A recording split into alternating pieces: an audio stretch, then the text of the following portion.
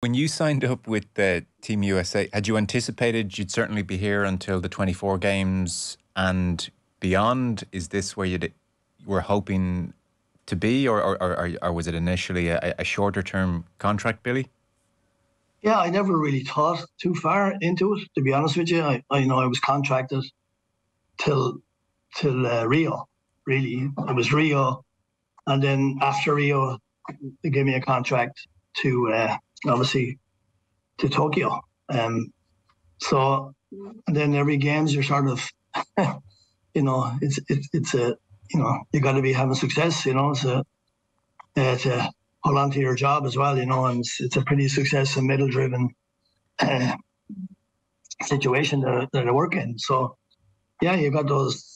Uh, I suppose stresses, but I've got a great group of people to work with me and a great group of people that I work for uh, just treated me with nothing only respect and you know has done everything they can to help help me be better and help the team be better and help the team be successful. You know, Americans love winners, right? And that's what they want me to do. They want me to, to train winners and you know and put everything in, you know that, that I can have or anything that I want uh, to make that happen.